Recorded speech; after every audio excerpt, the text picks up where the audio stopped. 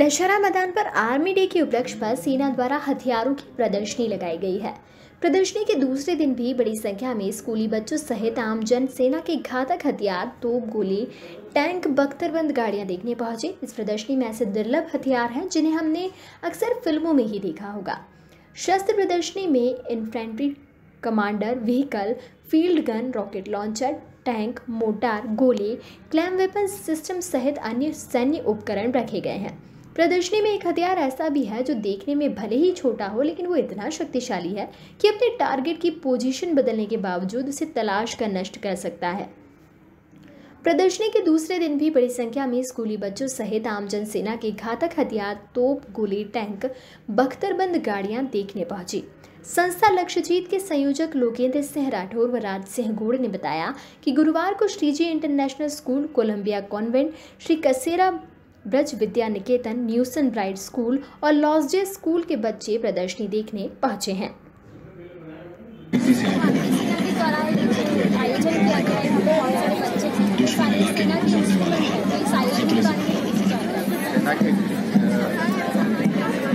भारतीय सेना द्वारा जो कार्यक्रम आयोजित किया गया है। हमारी संस्था लक्ष्य जी जो है, उन्होंने यहाँ पर भारतीय सेना को आमंत्रित किया था हमने प्रपोजल दिया था।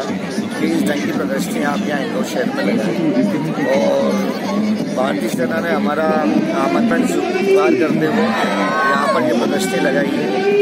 और इस प्रदर्शनी में स्कूल के बच्चे और कॉलेज के बच्चे आप देख रहे हैं। बड़े जोश खरोश से जो भारतीय सेना के वो हथियार जो युद्ध में काम आते हैं, जिन हथियारों के दम पर हमारे सैनिक पूरे जोश खरोश के साथ हमारी सीमाओं की रक्षा करते हैं। उन हथियारों का डिस्प्ले यहाँ पर हो रहा है जिसमें टैंक भी है मशीन गन है एम जी है एम एम जी है मोर्टार है रॉकेट लॉन्चर है तोपे हैं। सारे सब तरह के हथियार यहाँ पर देखने को मिल रहे हैं और पाँच दिन तक लगातार ये प्रदर्शनी यहाँ चलने वाली है। इस प्रदर्शनी का अब तक का रिस्पॉन्स कैसा रहा? आप खुद ही देख रहे हैं कि चारों तरफ़ भीड़ है। बहुत लोग आ रहे हैं देखने और चूँकि इंदौर में पहली बार ये हो रही है तो लोगों की उत्सुकता भी है। और सेना के प्रति लोगों के मन में विशेष सम्मान, प्रेम और श्रद्धा का भाव है ही।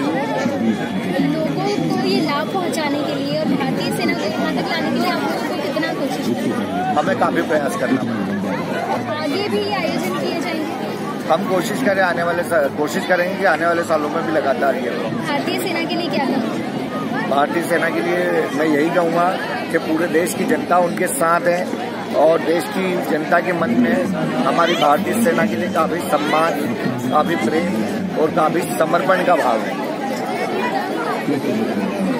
आप कौन से स्कूल से हैं? हम श्री रामचंद्र गुरु रामचंद्र शाह स्कूल से है मैडम। कौन सी क्लास के बच्चे आए हैं सर ये मैम सिक्स टू टेंथ बच्चे आए हैं। बच्चों को कैसा लग रहा है यहाँ पर? बच्चों को बहुत अच्छा लग रहा है। एक्चुअली उनको यहाँ आर्मी के जो वेपन्स और टैंक्स वगैरह देखे तो उनको बहुत जानकारी मिली है। और ये शायद इंदौर में पहली बार हुआ है कि बच्चों को ये सब जानने का मौका मिला है। और इस तरह के ऑर्गेनाइजेशन इन लोगों को करना चाहिए ताकि आम लोगों को भी पता चले कि आर्मी की लाइफ कैसी होती है वो कैसे वेपन्स का इस्तेमाल करते हैं और बच्चों को बहुत अच्छा देखा है आप लोगों ने यहाँ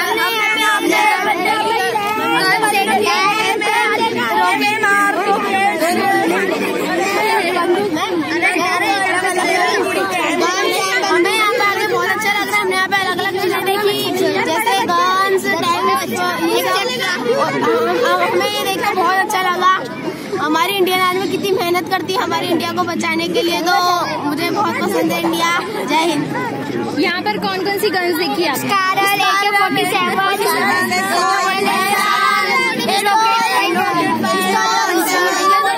किसी किसी एक गन के बारे में कोई एक डिटेल दो मैम मैम उसमें क्या है उसमें साथ दो गोली लगती है और यानी कि एक बार पे दो गोली फेंकती है जिसके कारण उसमें यानी कि उस मेरे को तो मैम मैम मैम मैम हम आपने क्या देखा यहाँ पर।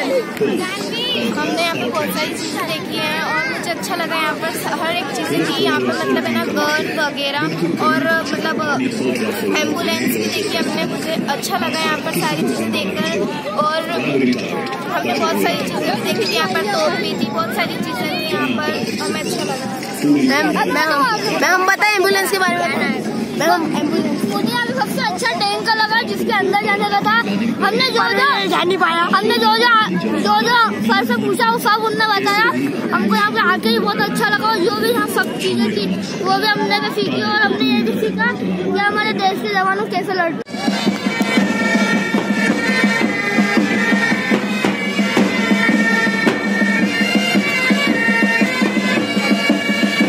Subscribe our channel and press the bell icon for more updates.